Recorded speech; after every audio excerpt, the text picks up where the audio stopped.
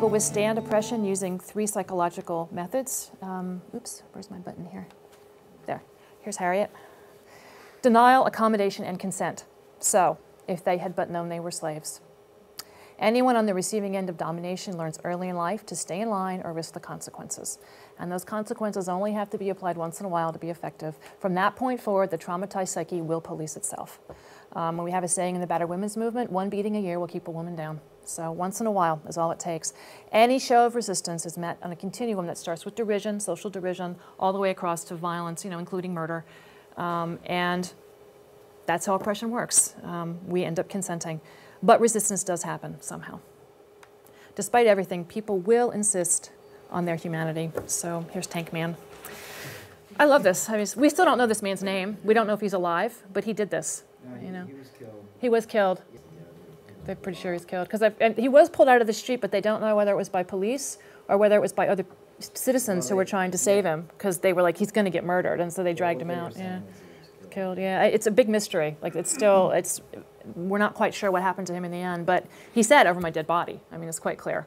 Um, and frankly, this is what we all need to be doing, right, in one way or another. Um, so the final difference here uh, between, I keep hitting the wrong button, I'm so sorry. The final difference um, is the approach to justice. And with power being invisible on the, the liberal side, justice is therefore served by adhering to these moral principles um, that are abstract. Now, for radicals, justice cannot be blind. All right, domination will only be dismantled by taking away the rights of the powerful and redistributing it, those rights to the rest of us. So you're going to have to name the harm and then think up a specific redress and then go ahead and do it. Um, by having it be blind, um, it means that you're really only supporting the powers that be that are already in place. Um, you know, one really great example of this is um, there's a famous sex discrimination case. It was a class action suit against Sears and Roebuck, and um, women came forward, had a whole bunch of stories about how they were being denied promotions and whatnot in Sears, and um, this was heard by a federal court, and the federal court, and one of the problems was that women weren't getting maternity leave, and they said we're being discriminated against because we don't have maternity leave. The, one of the, and the court denied all their claims. Women, this was a huge loss. They lost this. Walmart's doing the same thing now. I mean, it's, it has not changed in 30 years, okay? But the, the part that gets you always is the federal, the federal judge then says, this is not discrimination against women because if men got pregnant too, they also would not have maternity leave. Okay, this is a federal judge. Okay, you could not find a more abstract principle, right? If men got pregnant, men don't get pregnant. That's the point. That's why it's discrimination against women. So, okay, um, so here we've been using these words like oppression.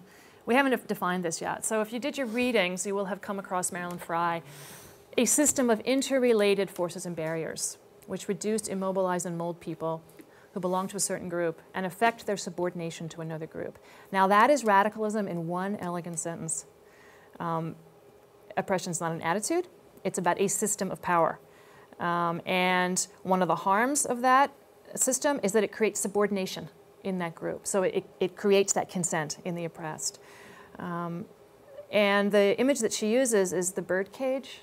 So if you're a liberal, you're only going to see sort of random bars they're not connected into that interrelated set, right? What keeps that bird in that cage is the fact that all those bars work together, okay? It's the interrelated forces and barriers. So if you're the liberal, why is that bird in that cage? Well, I don't know. There's nothing keeping that bird in that cage. You don't see the forces and barriers. Um, so it either has to be voluntary, the bird wants to be in the cage, or it's natural. Well, it's just that bird's nature to be in that cage. Um, so then we've got another word here we should talk about, which is subordination. And we got some very smart people who've come before us. uh, this is Andrea Dworkin, Four Elements of Subordination. Hierarchy, group on top, group on the bottom. Of course, the people on the bottom have a lot fewer rights, resources, blah, blah. Objectification. So uh, some human beings are seen as less than human in whatever way. They are used as objects. They are bought and sold as objects. They are, you know, it's appropriate to treat them as objects. Submission. So here we go again. Uh, you have to submit in order to survive. And this is always the rock and the hard place, right, that you're up against when you're being oppressed. Um, and so you're objectified, and because you then have to submit, that's used as proof that you, in fact, deserved that oppression or you're somehow made for that oppression. It doesn't hurt you when you oppress. But in fact, it's really just the only option you've got if essentially you don't want to die.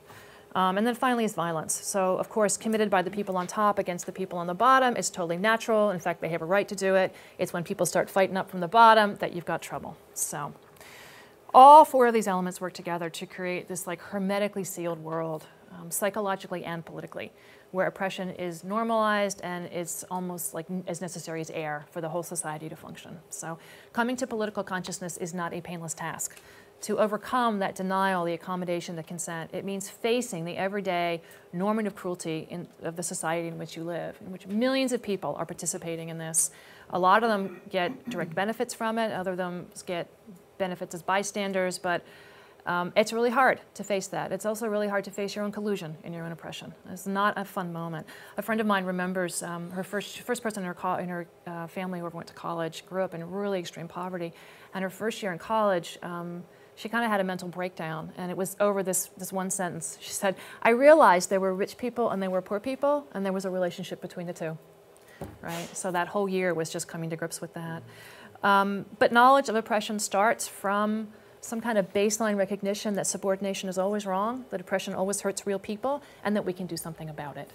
Um, and I, I would submit that that, um, that knowledge and the skills that we acquire in analyzing you know, the situation that we're in can be emotionally freeing, certainly intellectually freeing, and ultimately spirit, spiritually freeing. I mean, it can give us the kind of courage that we need to go forward. So we got to do it.